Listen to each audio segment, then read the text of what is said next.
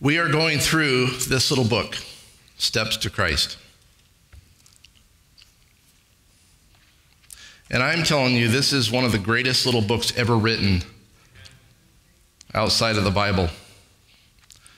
You can use it as a devotional, or you can use it like I do often. I'll pick it up when I'm having a struggle with something, and I'll go to the chapter that it's appropriate, and I'll read it. And it gets me focused and grounded, and mentally and spiritually in the right direction. The series that we're in this summer is called Steps into Sonshine, S O N S H I N E. But really, it's Steps to Christ. we're on our third chapter, and that's the chapter on repentance. And the reality is, we could spend an entire series just on repentance. It's a huge subject. And it's one that is, I think, for Christians, difficult to really grasp. So, trying to preach a sermon on this in a short notice is hard. And but I believe that God's word is full of so many rich and awesome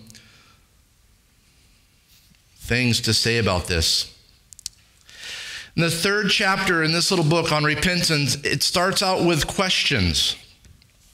And the question is How shall a man be just with God? How shall the sinner be made righteous? And then it provides an answer right away. It is only through Christ that we can be brought into harmony with God with holiness. But how are we to come to Christ? Many are asking the same question as did the multitude on the day of Pentecost. When convicted of sin, they cried out, What shall we do? And the first words out of Peter's mouth was, Repent. You've all heard the saying George Washington was an honest young man, and he said, I cut down that cherry tree. There was a cartoon years ago in a Saturday paper showing little George Washington standing with the axe in his hand. Before him, lying on the ground, the famous cherry tree. He had already made his smug admission that he did, in fact, after all, cut it down because he could not tell a lie. But his father in this cartoon is standing there exasperated, saying, All right, so you admit it. You always admit it. The question is, when are you going to stop doing it?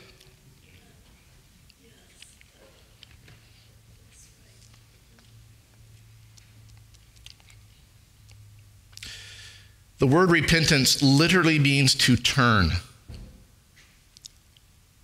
It is an activity, it is not a concession.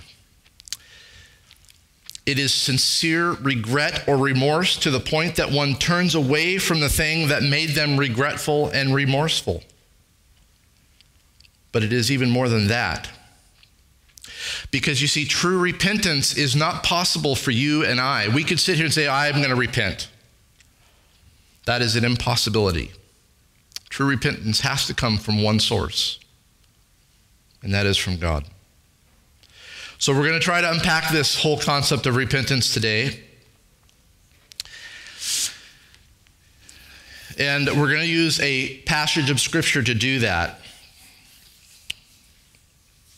But I want to remind you that repentance is a theme that goes throughout the Bible. When, when John the Baptist was preaching in the, in the wilderness, what was the word he started his sermons with? Repent. John did not mean people for people to be sorry for their sin and then just go back to the life they lived. John meant seek God's forgiveness and then change your life. Repentance is a change of our minds about God and ourselves. We change our mind about God. We come to accept that He is the master in our life when we repent. We change our mind about ourselves. We come to accept that we are responsible for, to God for our past, present, and future, and that we are sinners. This change in our minds leads and should lead to a change in our lifestyle, the way we live our life.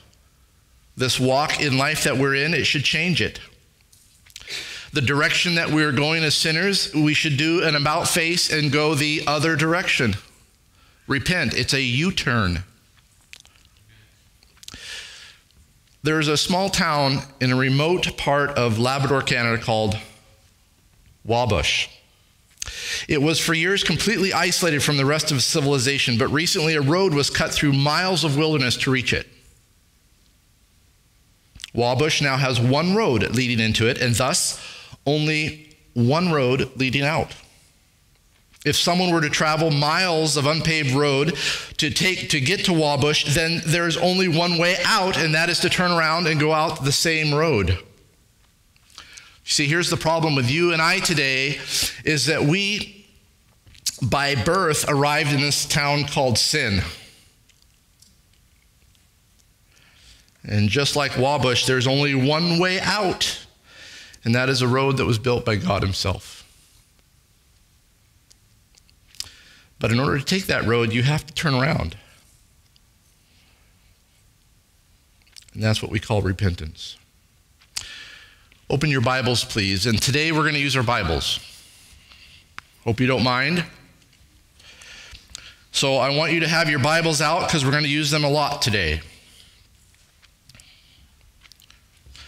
This scripture defines, outlines, gives us a roadmap a blueprint on what repentance should be in my life and in your life.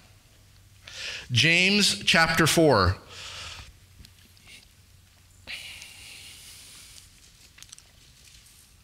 In this passage we're going to read, there are seven commands God has. Well, seven. seven commands that God has. I want you to pick them out as, we, as I read through this, okay? James 4 starting verse 7. Listen.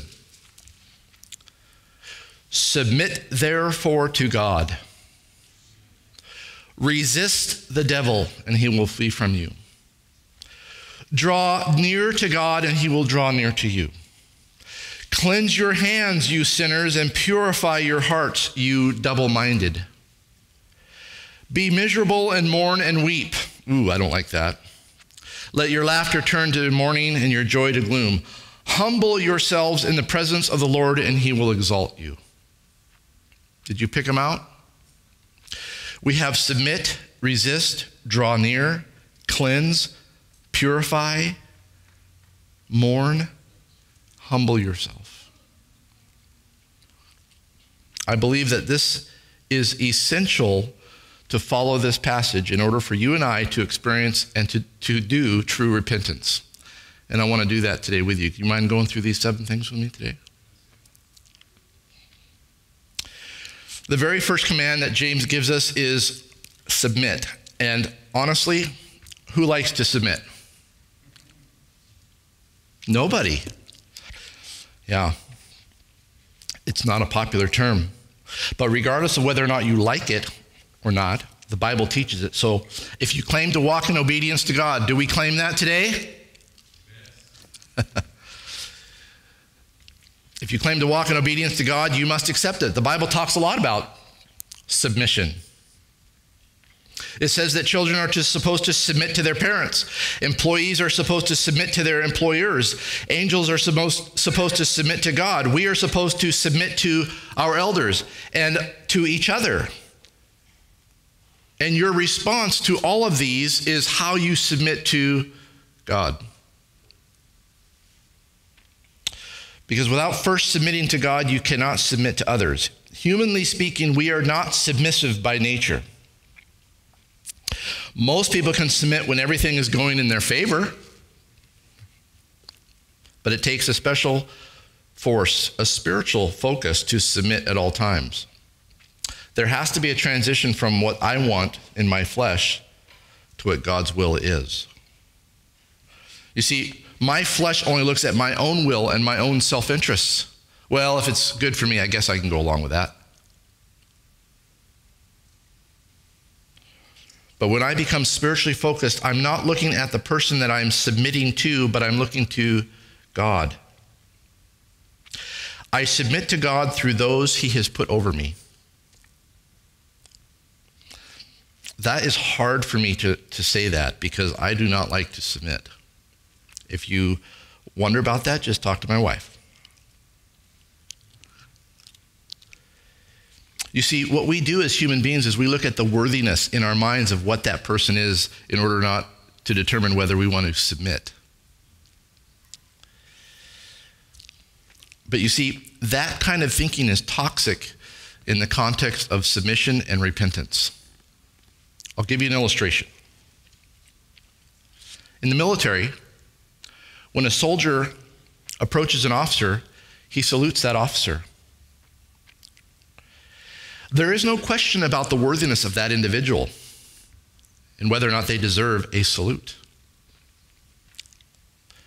It's about rank. As a soldier, you do not judge the officer only his rank and or position. An officer stands on the authority that was determined by the military. In the same way, everyone in authority does not stand on their own claims or on their own strength. The ultimate authority is God, and we must submit to him. But here's the problem. You see, in this, in this verse that we read in James, we have a problem. There's two identifiers to who you and I are in this passage here in verse 8. We are sinners, number one, and we are double minded. Romans 3 tells us that all have sinned and fall short of the glory of God. Do you agree with that? Would you sit here today and say, Yes, I am a sinner in need of a Savior? All right. Now, we don't like to hear that. In the world, if you tell them they're sinners, you know, we don't, we, we have a real PC issue in our culture today that you can't say anything derogatory or bad, or you can't be critical, or, I mean, you're shout down, right? As Christians, we, we don't mind putting that label on ourselves. Hey, we're sinners. We know that. But people don't like to hear that. People don't like the negative. But you see, here's the thing you can't issue a cure unless you know what the diagnosis is. The diagnosis is you and I are sinners. You can't get chemotherapy unless you're told you have cancer first. You have to hear the bad news in order to get the treatment. We are also double minded. The word literally means two souled. S O U L E D. In essence, we have a split personality. I'm never quite sure where I'm going. I can't be depended upon. I'm divided between my allegiance to God and my allegiance to myself.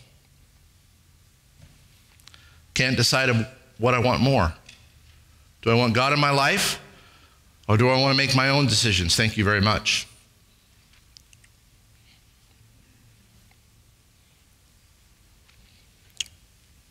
You know what a double minded husband is? It's a husband that has a wife and a mistress, and he can't decide which one he likes best, so he's going to just keep both of them. Would you like to be married to a person like that? You remember the old song, Torn Between Two Lovers?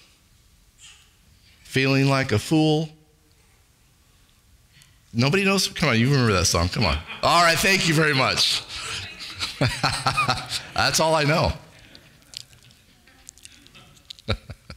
if you think you can have God's way sometimes and your way sometimes, not only will you feel like a fool, but you are a fool.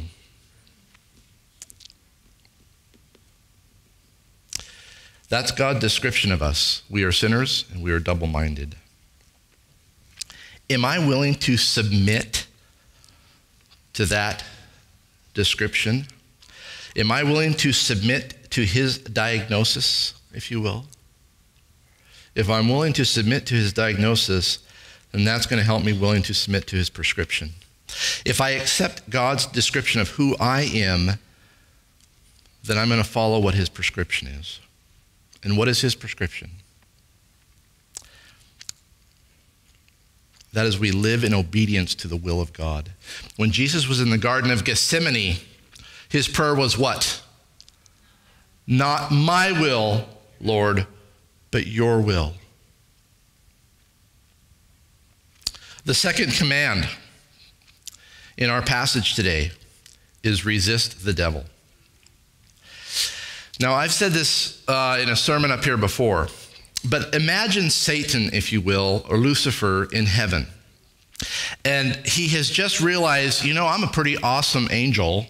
I'm right there at the very top of all angels, and I think I deserve some worship.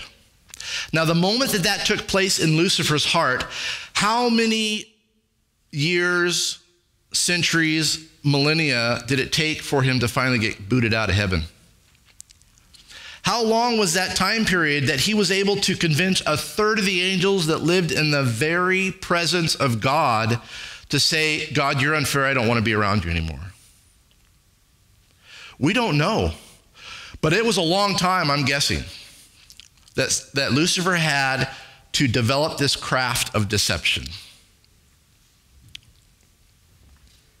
We are told in the Bible that angels have more power than we as human beings. Now, Satan was at one point the top angel. How do you suppose you and I are going to resist him on our own? Think about that for a second. There's only one way, and there's only one place that you and I have a, any chance to resist the devil, and that is only in and through Jesus Christ. Turn to 1 Peter 5. Don't take my word for it. 8. 1 Peter 5 8.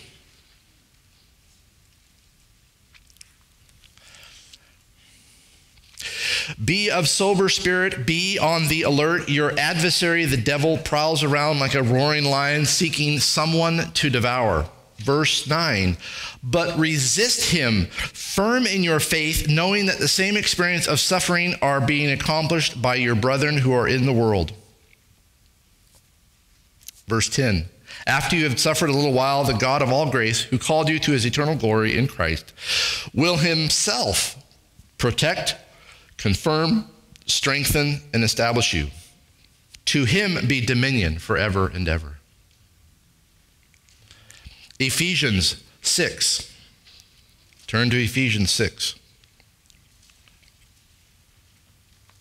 Starting in verse 10. You're all familiar with this the armor of God. You and I have no hope to resist the devil unless we do this in our daily life. Finally, be strong in the Lord and in the strength of might. Put on the full armor of God so that he will be able that you will be able to stand firm against the schemes of whom? Of the devil. For our struggle is not against flesh and blood, but against the rulers, against the powers, against the world forces of this darkness, against the spiritual forces of wickedness in the heavenly places. Therefore, take up the full armor of God so that you will be able to resist in the evil day, and having done everything to stand firm. Stand firm, therefore, having girded your loins with truth, and having put on the breastplate of righteousness, and having shod your feet with the preparation of the gospel of peace, in addition to all taking up the shield of faith, which you will be able to extinguish all the flaming arrows of the evil one. Take up the helmet of salvation and the sword of the Spirit, which is the word of God. And we know by example that Jesus in Matthew 4, when he was in the wilderness being tempted by the devil, what was his defense? The sword. Right here. We cannot resist the devil except by and through Jesus Christ and being in this word. Now, I just want to take a side note here. This wasn't in my sermon notes, but it just came to my mind. Listen, this is something that I've struggled with in my Christian walk a lot. If I don't start my day out with God, if I don't have that, if I don't have that spiritual mindset that I am spending time with Jesus Christ, that I have that focus, that I have surrendered my heart and mind to Jesus that morning, I can't resist Him. And I'm telling you, I fail. That's my experience. But when I take that time and I submit to the Lord and I surrender to Him, I'm telling you, it makes a difference in my life. The next command, the third command, I believe is key to all of this. Go back to James 4. James 4, verse 7 and 8. The next one, verse 8. What is the term there in verse 8? What does it say? Draw near to God. Draw near to God. Here lies the key to our ability into true repentance. Without this vital component, the possibility of true repentance is gone. And I want to illustrate this by a few verses because we need to know that we have not just an invitation, we have a command, but we have a right to draw near to God. Turn to Hebrews chapter 10. Hebrews chapter 10. I love to hear those pages turning. Hebrews chapter 10.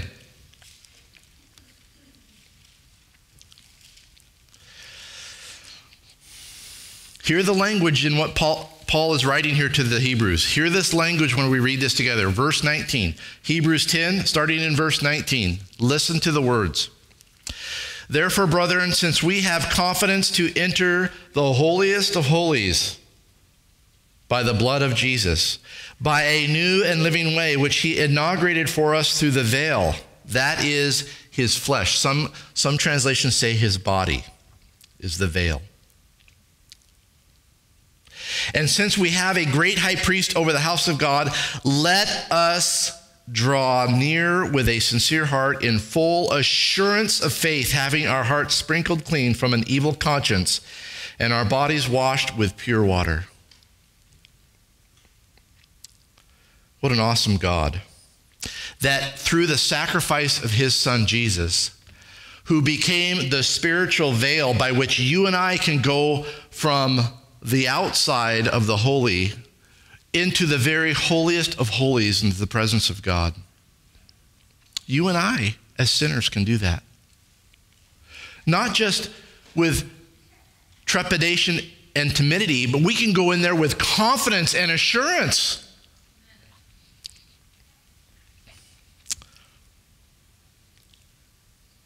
Hebrews 4:16 Paul's not done with the Hebrews here. He says it in different ways, and I want to read this.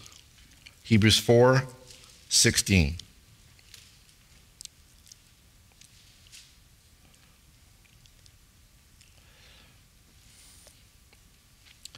Therefore, let us draw near with confidence to the throne of grace. Where is the throne of grace? The throne of grace. In our understanding of the sanctuary, where is the throne of grace? In the holiest of holies. Jesus Christ, as our high priest, has gone into the holiest of holies in heaven. The throne of grace is where the very Father sits. In the Old Testament, it was where the Shekinah glory sat on top of the Ark of Covenant. Therefore, let us draw near with confidence to the throne of grace so that we may receive mercy and find grace to help in a time of need. Jump over to chapter 7. Chapter 7, verse 25.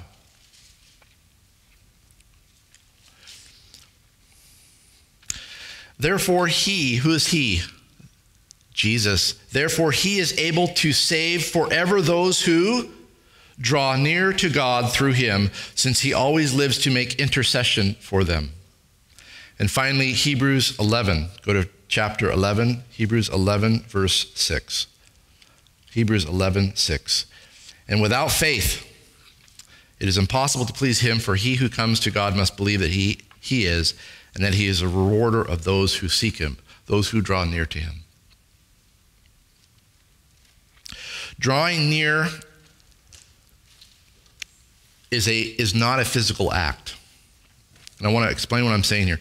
Drawing near to God it is not building the Tower of Babel to, to accomplish your salvation in your own, own life by yourself. Drawing near isn't necessarily even going to church or walking up here to the altar. Drawing near to God is something that happens in the quietness and in the stillness of the human heart.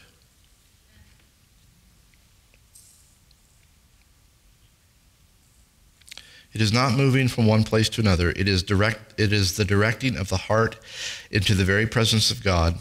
who is as distant as the holiest of holies in heaven and yet as near as the door of faith into our hearts. Drawing near to God happens on a very personal, intimate level. It happens here in church. It can happen here, but it doesn't necessarily have to happen here. Does that make sense?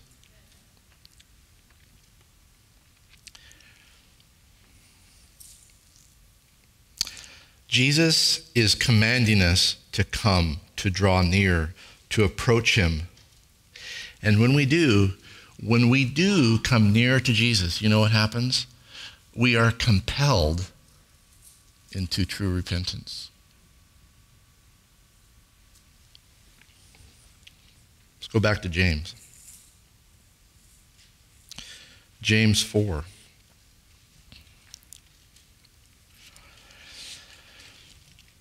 The next command cleanse your hands. Now, there's a verse in Job 17 9 that's a very interesting verse, but it basically says, I'll paraphrase, those who have clean hands are stronger. interesting language, isn't it? Now, in my house, whenever uh, there's a jar in the kitchen that cannot be opened, a mayonnaise jar or pickle jar, honey, could you open this jar for me? Okay? And I can usually do pretty well, but if my hands are dirty or greasy, I can't, I can't open the jar. I got to go wash my hands to make sure that they're squeaky clean. You know what squeaky clean is? When you wash your car and it's all clean and you put your finger on the hood and that's squeaky clean. There's nothing between your finger and that nice clean car. When you wash your hair and it's just squeaky clean, you can feel your hair and it's squeaky clean. You know what I'm talking about? in a spiritual sense, this is what God is talking about. Cleanse your hands. Let go of the crap in your life. Let go of the garbage that you're hanging on to. Do you understand what I'm saying? It makes your hands dirty.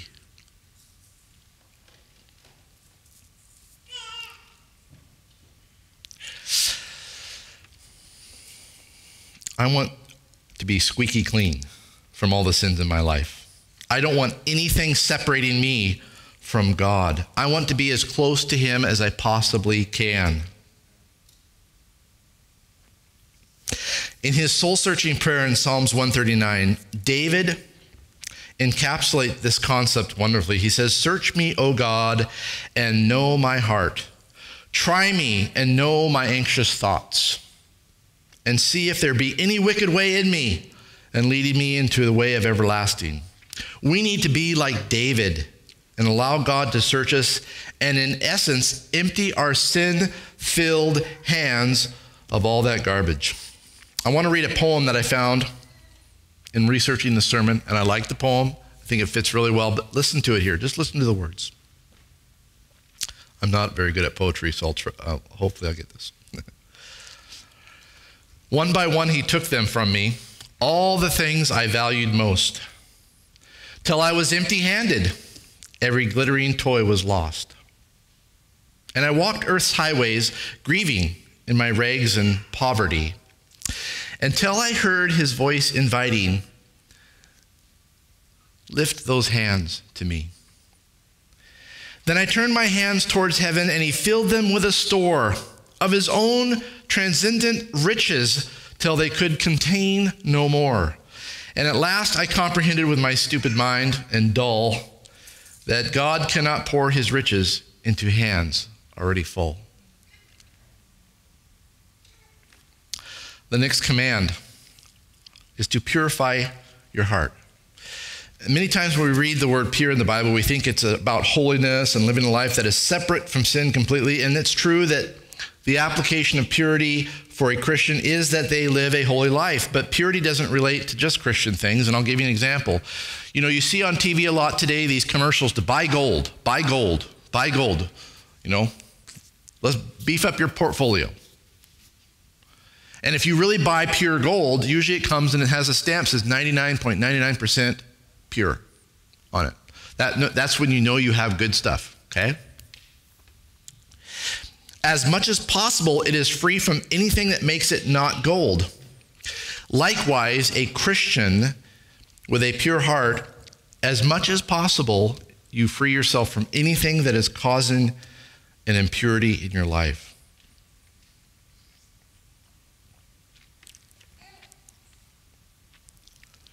Jesus said in Matthew 22, 37 and 38, Thou shalt love the Lord thy God with all thy heart and with all thy soul and with all thy mind.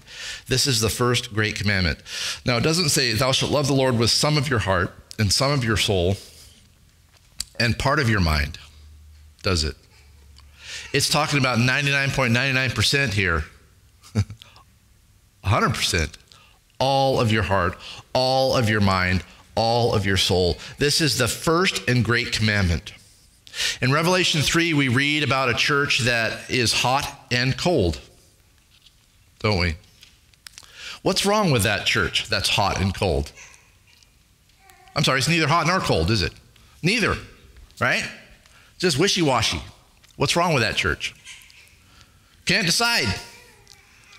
It can't decide what it wants to be. It can't decide if it wants to be 100% here or 100% over here.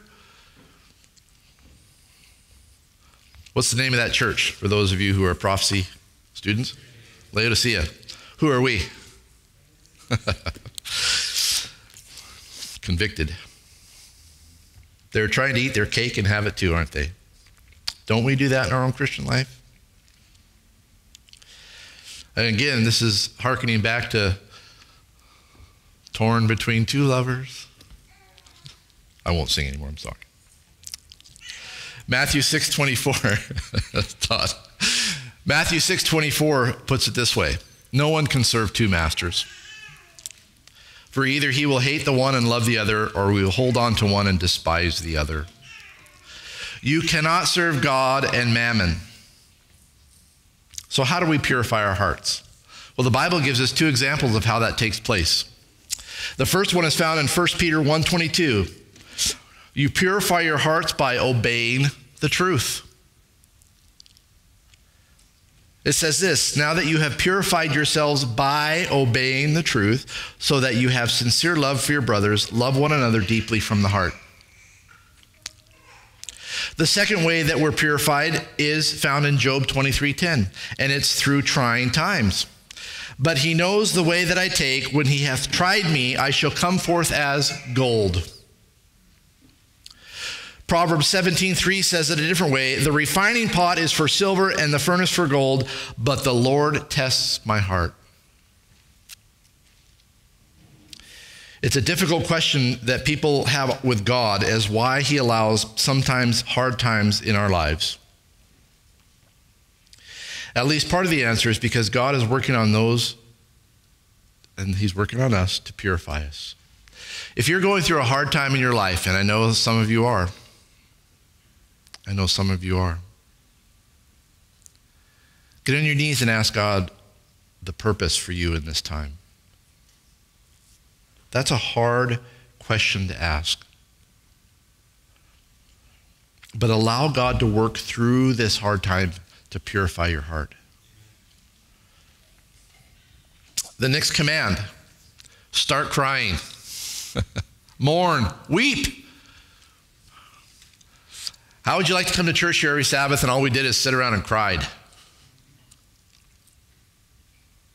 Wouldn't be very fun, would it? But I want to submit to you, maybe we should do some more of that. Maybe we're so callous, we can't weep. You watch what's going on in, in France this week 80 people killed by a guy with a semi truck driving through a crowd. And we watch that and say, oh, that's too bad. But do you weep? No, because it really doesn't affect you, it's far away. I can tell you who's weeping when he sees that, that's our Father in heaven.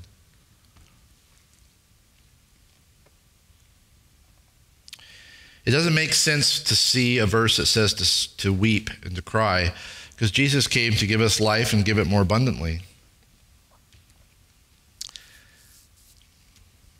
You know, uh, in the board meetings, uh, for those of you who are in board, you'll sometimes see I, I, crack a joke or I make it funny or try to lighten it up a little bit in board. Um, is that wrong? Am I sinning? We laugh with each other. We make jokes. Sometimes when I'm up here, I'll, I'll make a joke. Is, is that wrong? Am I sinning?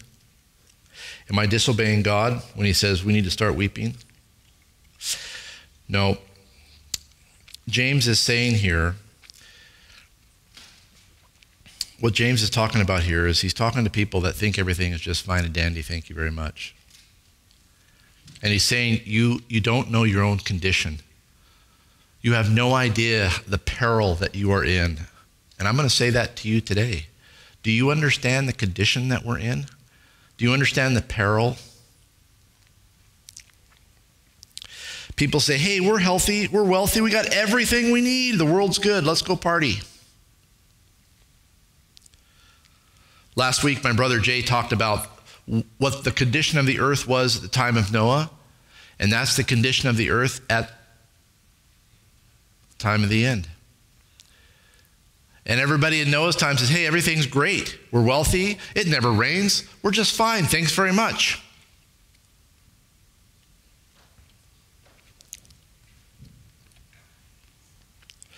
When you are living a lie, it's easy to pretend that everything's okay. It's only when you face reality that you see how poor and weak you really are. When we are faced with an undeniable fact of our condition, we are sinners, we are double minded, then we really begin to weep over our own state.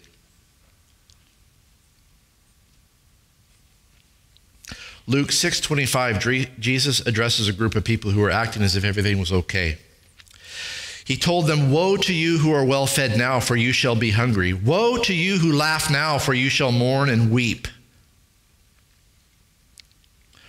When you come before God, when you draw near to God and you truly start to see your condition, it brings the heart into submission and we weep. And it's then that you can truly repent. You know, the Bible has many examples of people weeping. Psalms talks about it. Uh, Ezra talks about praying and confessing and weeping and throwing himself down before the house of God. Matthew 24 37, Jesus was in anguish over the city of Jerusalem. And what did he do? He wept. In Joel 2, 12 through 13, it says, Even now, declares the Lord, return to me with all your heart and with fasting, weeping, and mourning. Rent your clothes, or sorry, your heart and not your garments. Return to the Lord your God, for he is gracious and compassionate, slow to anger, abounding in love, and relenting of evil. Let the priests, the Lord ministers, weep between the porch and the altar, and let them say, Spare thy people, O Lord, and do not make thine inheritance a reproach, a byword among the nations. Why should they among the people say, Where is their God? It is only when you experience in your spiritual life true sorrow can you experience true repentance. The last one is humble yourselves. And this is my least favorite. no, I'm just kidding. When I humble myself, what does that look like? When you humble yourself before the Lord, what does that look like? My daughter Haley, who um, many of you know, uh, I talked to her this week, and she said, Dad, have you ever read the screw, I think it's called the Screwtape Letters by C.S. Lewis? And uh, I said, No, I've never read that. I've read some of his books, but I haven't read that one. She goes, Dad, you really need to read that book. It's really awesome. I love when my kids tell me what I need to do. I love it. So I'm going to do that. That's on my list of things that I want to do. But she talks she talked in there about she goes, there's, there's a part of the book in there that talked about how we pray. She goes, I, Dad, I never thought about it, but it talks about how important it is to get on your knees in a submissive attitude and pray on your knees with your head bowed. And I've been doing that since I talked to my daughter. Instead of laying in bed in the morning and praying, as I often do, I slide out of bed and I get on my knees and I pray.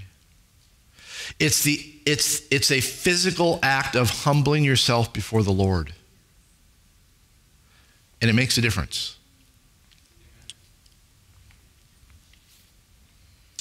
When you kneel before your Father and you allow Him to do whatever He wants in your life, when you surrender, you are humbling yourself before the Lord. I heard a sermon this week on my drive to work in the mornings. I listen to podcasts. One of the podcasts I listen to is um, Timothy Keller. He's a pastor in New York City. And uh, I don't honestly don't remember what the sermon was about, but he was talking about um, the concept of uh, in the Bible where, like Joseph, when Joseph was confronted by his brothers after his father died, and the brothers were now afraid because dad's dead. Now Joseph's really going to get, get us now. And so they come to him and they say, Hey, Joseph, dad told us before he died that you're not supposed to do anything to us. Okay? made Joseph sad. And his response to them was, Who, who am I, God? I am not in the place of God.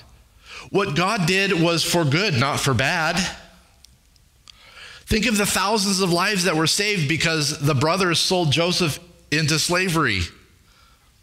Joseph had the big picture, the brothers did not.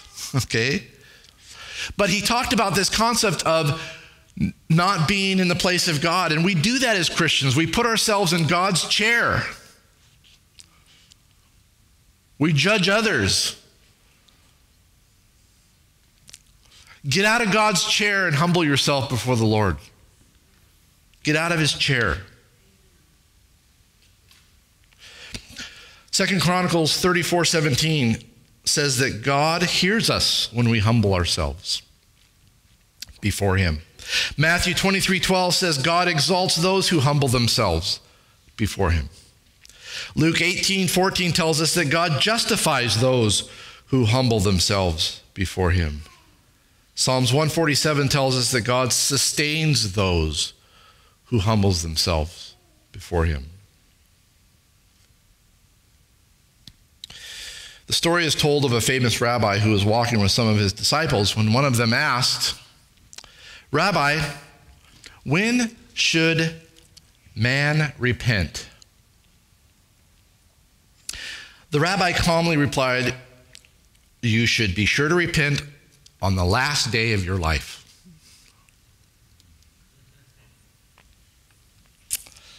But, protested one of the disciples, we can never be sure which day will be the last day of our life. the rabbi smiled and said, Well, there's your answer. Repent now. Do not wait, family. Repent now. Do the about face submit, resist, draw near, clean your hands, purify your heart, weep, and humble yourself. All of those are aspects of what repentance looks like in the heart of a Christian and a follower of Jesus Christ. I want to end the sermon today by reading from this little book.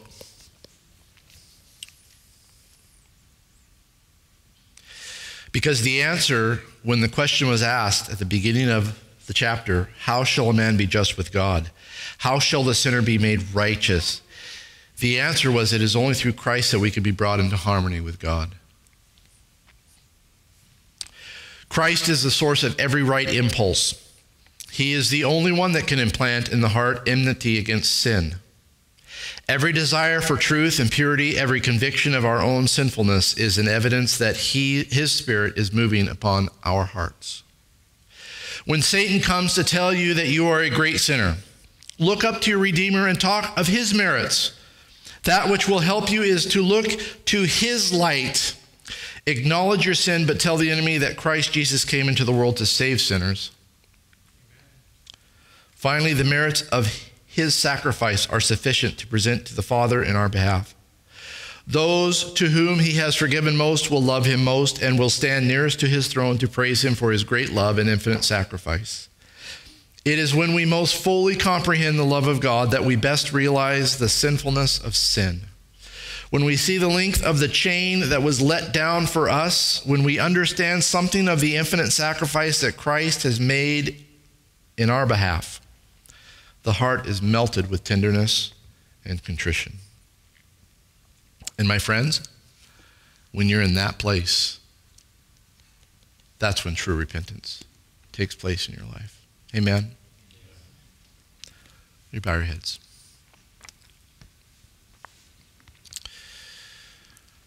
Father, today I ask that you give each one of us heart to submit and to resist, to draw near, to wash our hands, to purify our heart, to weep, and to humble ourselves. It is impossible to do any of that without you, Lord. And so today, my prayer for each one of us here, Lord, is that we have a close, intimate, personal relationship with you that you enable in us the ability to do those things, that you make through your Holy Spirit our hearts willing to do those things, that we leave here today in a, in a